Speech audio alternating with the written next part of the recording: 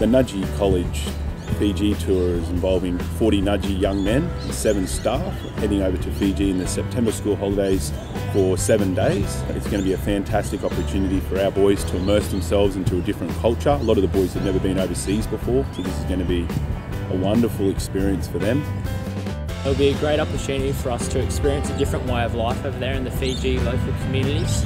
Not only will it give us a different perspective on how life different is over there, but give us opportunities to play some footy and mix around with local communities and help out around there. The service element of the tour, I think, is going to be you know, a really good way for our boys to give back.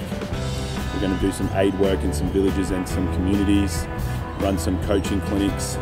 Um, we're going to bring lots of second-hand gear over there to hand out, and we're also funding a building project that the boys are actually going to physically work on whilst we're on tour. Looking forward to giving, giving back to for the Fiji people um, and just like learning a new culture too, different ways, different lifestyle. You know, it'd be awesome to see how like, you know they go through their everyday lifestyle. Just looking forward to experiencing Fiji way, the Fiji culture, playing playing games against the Fijians. You can support the tour by attending our major fundraising event, the Cocktail Party, on Friday the 9th of June.